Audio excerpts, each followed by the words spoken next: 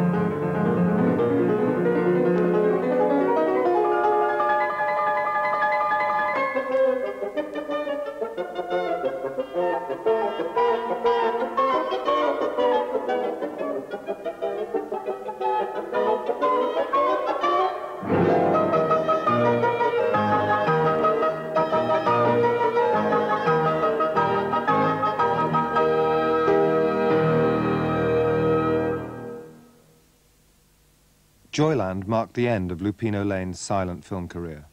When the studio closed in 1929, he returned to vaudeville. His real success in the movie business had come to an abrupt and unhappy end. From now on, he was to make only the occasional talking picture. Hey ho, life's a misery.